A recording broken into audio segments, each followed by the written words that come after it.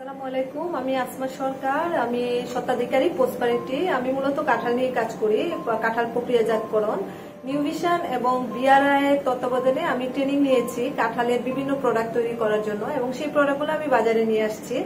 আমি মূলত আমার প্রোডাক্টগুলো সেল করি হচ্ছে কৃষকের বাজার, মিনা বাজার, বিভিন্ন আউটলেটে দেই মিনা বাজারে কৃষকের বাজার আমি কন্টিনিউ করি।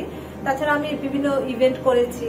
তো আমার বিজনেসটা রানিং হচ্ছে পাঁচ বছর ধরে আমি উদ্যোক্তা বাট আমার যে প্রোডাক্টগুলো আছে কাঁঠালের, এগুলো আমি বাজারজাত করতেছি তিন বছর ধরে।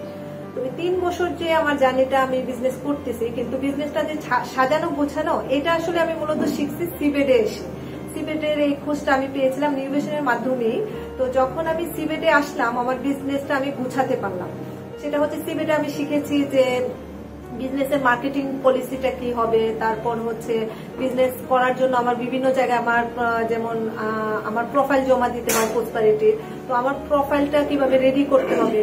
এইগুলো আসলে আমি সিবের এসে খুব ভালোভাবে শিখতে পেরেছি। আমি ষষ্ঠ বেসের একজন স্টুডেন্ট আর হচ্ছে আমি যখন এই প্ল্যানগুলা তৈরি করা শিখলাম, দেখা যাচ্ছে যে আমার কাজটা বিজনেসের কাজটা আমি খুব শর্টলি নিজেই করতে পারতেছি। আর সিবেট আমাকে এই সুযোগটা দিয়েছে। আমার কোর্সটা ছিল তিন মাসের অনলাইন কোর্স। তো এখানে এসে আমি আমার পোস্টপারিটিকে ভালোভাবে প্রেজেন্ট করতে পেরেছি এবং আমাকে অনেক হেল্প করেছে এই কোর্সটা